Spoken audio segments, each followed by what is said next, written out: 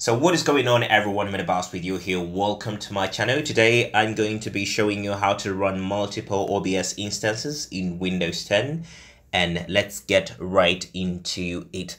So firstly, we're going to have to launch our browser. I'm using Google Chrome and uh, I presume everyone already has the, uh, the OBS installed. Uh, just type in OBS Okay, we already have the original OBS that you're going to have to download normally as you go to this tab here. Okay, when you go to the tab, it's going to obviously going to prompt you to download the 64-bit if you're running the 64-bit on Windows 10. We're going to close that. So we don't need this right now at the moment because uh, right now I'm using the original OBS Studio to record this at the moment, but I'm going to be showing you that we can be we can be able to record even more than one instance uh, with uh, with OBS. Okay, uh, first and foremost, we have to know that this is only going to work on Windows. For Linux, I'm still looking for a way. I can only run two instances at a time, but for Windows, uh, let's get to it. So you're going to have to go to the download tab here. Okay, the download section. When you scroll down, if you're installing the normal OBS, you're going to have to go for the download install installer. But if you want to be able to run the multiple instances, you're going to have to uh, move down to the download zip because we're in Windows, oh, obviously. So simply right click or just, just click download and it's going to have to launch the download. So I already have this, I've downloaded it already. If, if you want, you can just right click and maybe download.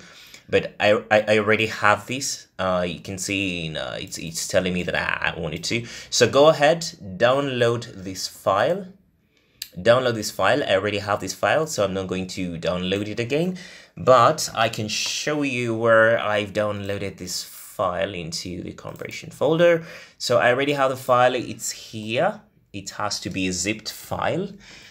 So uh, if you want to be able to run uh, multiple, like uh, I've already opened this and you can uh, open uh, this too you can also open the, uh, the second OBS and it's not prompting you. For example, let me, uh, let me, let me, let me show this error that we usually get as we, uh,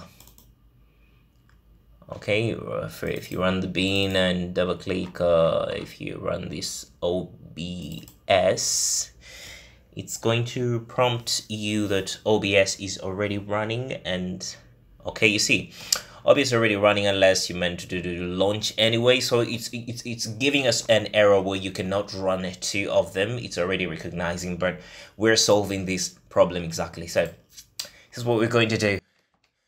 Look for a location that you would want to store your um, your files. In my case i've already created an uh on um, uh, uh, I've already created a folder in my my my D in my D drive. I've called them OBS instances. So we can see that I can even run uh, Stream 2 without the error that I've showed you previously. And we can also run Stream 3, OBS 3 at the same time. And we're having no issues at all. Okay, this is what we're going to do. Uh, I'm going to be creating, uh, I, I can I can also run this, I can record or I can stream. Let me press the stream button, connecting. It's connecting to my other YouTube. Okay, you can see I can also start streaming whatever I'm recording here, but I don't want to interfere with my recording. Even here, I can also try to run the browser and um, uh, let me use the uh, yes uh, okay okay. Yes yes. Let me use the browser and use exactly the OBS website. Control control V. Okay. Okay let me uh, let me resize this. I want to just prove that we can we can also I haven't put in any any streaming key here but we can still also record this. So I'm already having the false recording that I'm doing right now. I have a stream that I'm running right now, and I'm also having a recording, a recording of uh, of a browser. So you, you can do multiple and uh, infinite of them if you have a strong PC, of course. So we also have these. We can uh, also go ahead and uh, and just proving that you can run even multi more more of that. And I I can maybe go to display capture. Uh, let me let me let me try the uh, media source. Okay. I'm gonna burn the file. Let me go into let me go into videos okay into what I've recorded before I don't have any downloads videos I have some videos there okay uh okay let me uh, let me use a video that is not copyrighted. There we go. Okay. You can see that we are also running this so I, I, I can also record this. So I have almost four OBS instances running, recording, stream, streaming, recording, and also recording. So we can stop this just just just for uh, for my uh, for, for, for my my recording uh, purposes. Okay, let me just uh, minimize these as they're running in the background. We're going to have to create another instance and in this case what you're going to do is uh, simply let me enlarge these uh, just simply right click into the folder where you've downloaded that OBS that zipped OBS right click uh, use the extract to that uh, extract the OBS studio not extract here but extract to OBS studio to that file exactly so it creates a file if you use this option here it's only going to uh, extract the files inside, but here it also creates a folder. So we're going to transfer this file to the location where you want it to be.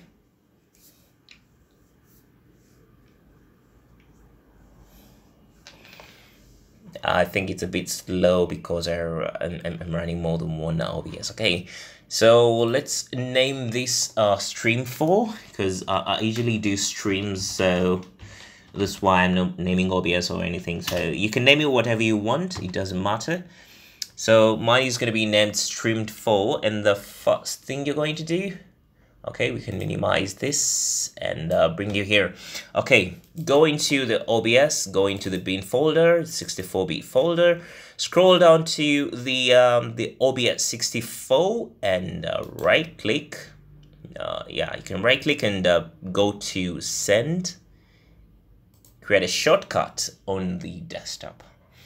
Okay so what you're going to do is simply you can rename it. You can either leave it or you can rename it. It is up to you but if you're going to be running multiple of these while you're streaming or recording you have to identify which is which. So the first one is my initial is the original that is not zipped. It's uh it's, it's the original obs that comes in as you download as an installer and these are the zipped ones that can run independently. So i'm going to rename mine uh stream 4 going to name, rename mine stream full and i'm going to right click uh, this is the most important thing that you have to differentiate this OBS from the original OBS to not bring you that. Uh, so if you go to the target here, just into the shortcut, go to the target here that is giving you the address of the OBS that you've put in the desktop. Simply press one space bar, space bar, and um, no, I'm you put in double hyphens, hyphen marks, I repeat that, double hyphen marks and type in the word portable. Portable, come down here, click apply and press OK. So we can see that if I run, let me place it here. If I, we're already running the third OBS studio running in the background and if I run the fourth one, it's going to launch as a new OBS. Wait for it. okay there you go. Optimize streaming and recording well what i'm going to cancel this. I already know what to do. Going to close and this looks new. Okay you can see that uh, it's different from uh, the uh, it looks so big but bigger is better. Okay we can see that um, this is our OBS uh, this is the, the stream number three. And we have the stream number two. And we have uh, the stream number one. And we have the initio that is recording our video. So uh, a little bit of proving this I'm going to have to create another one to show you that uh, if you don't if, if, if you if you don't put in the portable code it's not going to it's going to again bring you the same error Okay, still, uh, right click, uh, we are still extracting. So you can do this multiple times. You can have over over 100 OBS studios if you have a strong PC, of course. And you can run them all at the same time, recording, streaming, and you have different stream keys on YouTube, and Facebook, and you can do them uh, simultaneously. So as I've showed you, so I'm creating the fifth one. Okay, just go back. All right, go back. Okay, I'm transferring this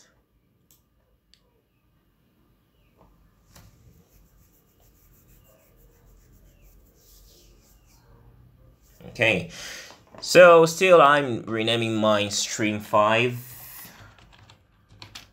Stream 5. Okay, pressing enter. Okay, and uh, bin 64 and uh, yes, you know I've already told you how, how to go about the uh, the folders. Okay, onto our OBS, right click, we're sending it to, you can just send it to the desktop, okay it is sent to the desktop and it is here. So the fact that I've not put in the code the double space, I mean the single space and double hyphen and, and, and portable, if I launch it from here, if I launch it from here, it's going to give me that error. So I'm going to cancel. So renaming it does not matter, but what matters is just right clicking, go to properties and uh, simply uh, one space, double hyphen, and poll table. So you're gonna click apply and press OK. So notice that if I relaunch it, if I double click on it to, to relaunch it, it's going to open as new. It's not bringing me the error that we usually get if you try to open the OBS Studio if you're opening a new one. So close this and uh, close this. So I have a new one. I have another three running in the background. So I'm going to have to close all these to... Uh... Okay, so I'm, I'm going to rename it. So renaming does not matter as long as you know what exactly you're doing. But in my case, I it's, it's just my habit to rename them. So I'm going to rename to stream 5 and so I'm having over five streams. So according to the power of your PC, if you have issues with NVIDIA, uh, uh, if you have issues with NVIDIA not allowing you from uh, streaming more than three OBSs, I'm going to have to do the video for you sometime when I get an NVIDIA card. Right now I'm still using the Intel graphics card as you can see here performance yes i think it's a here it's the intel graphics gpu that i'm using at the moment so if you found this video helpful please give it a thumbs up and if you have any questions you can drop them in the comment section down below. I appreciate you subscribing to my channel and i'll see you guys in the next video